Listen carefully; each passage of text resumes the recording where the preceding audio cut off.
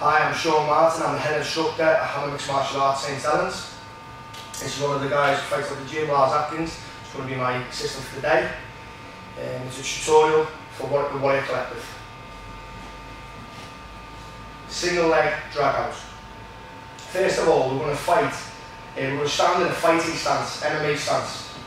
We're going to lead our way in with a one, two, and a left hook. One, two, left hook. Step really low on the outside of the leg. Clasping both hands together. Your back leg steps out as you push your shoulder on the inside of the thigh. Utilising the takedown. Position again. One, two, left hook, shoot. Nice and tight, so there's no guillotine or any choke um, present itself. You step to the leg and step our right leg right out. Utilising the drag out, the single leg. Lars is going to do it to me. One, two, three, shoot. Try that single leg out. And again.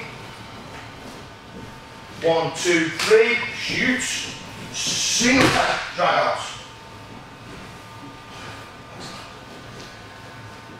If you want any more information on me or my gym, look at www.hamma.com.